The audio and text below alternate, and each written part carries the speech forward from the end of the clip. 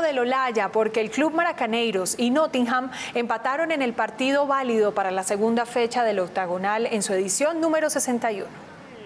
Tras el pitazo inicial del juez central, Ancisar Jiménez, rápidamente el conjunto de Maracaneiros dirigido por Alex Camacho se hizo a la posesión del balón. Yo creo que dominamos de principio a fin.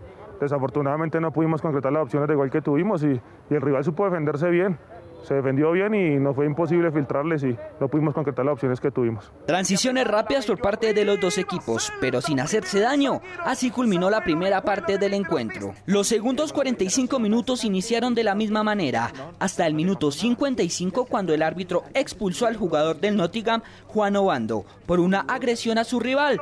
Con uno menos los dirigidos por Diego Díaz lograron defender el cero en su arco para llevarse un punto. A nosotros nos cuesta un poco la expulsión y después de la expulsión ya lo único que viene es defendernos, hacer una doble línea de cuatro y un solo delantero y, y pues ya jugamos al empate. La falta de definición fue uno de los puntos bajos de Maracaneiros, por eso su técnico sabe que debe trabajarlo para la próxima fecha. Tenemos que trabajar un poquito más en la paciencia en el juego porque estuvimos acelerados en algunos momentos y pues eso nos dificultó el finalizar las acciones que tuvimos. La segunda fecha de la Copa Amistad del Sur en su edición número 61 inició con el triunfo de Caterpillar Motor sobre Alianza Sur 1 por 0. El tercer partido de la tarde, Monserrate le ganó a Centenario 2 por 1 y en el último partido de la fecha, Nacional de Eléctricos y Olaya Herrera empataron a un gol.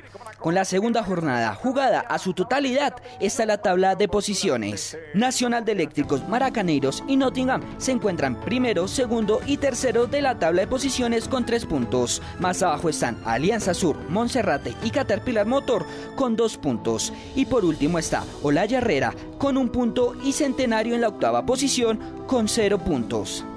Los